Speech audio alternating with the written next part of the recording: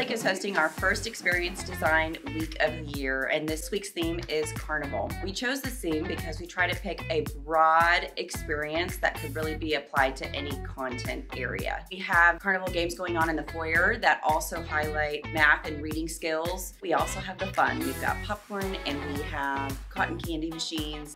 So we've kind of turned our classroom into a spooky themed carnival. Halloween seems to be an exciting time of year for the kids.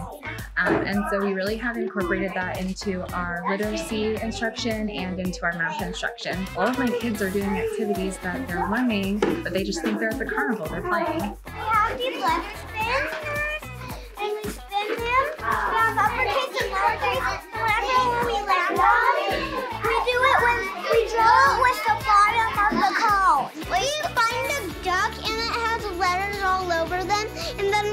the letters that. Yeah.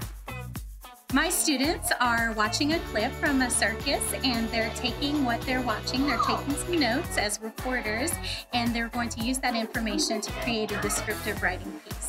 The best thing about experience design is really seeing the kids when they walk into the school. We visually change it. We do classrooms and hallway transformations to really bring the experience to life. One of the biggest things this year is that we're working on family and parent engagement.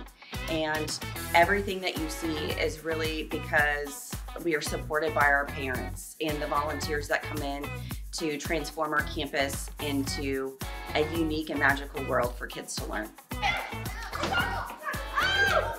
During our Experience Design Weeks, kiddos are ready to learn, they're excited to come in, they want to get to class and see what they're doing for the day. Our attendance is up, our behaviors are minuscule because kids want to be learning in the classroom and it's a great place to learn and a great place to spend your time.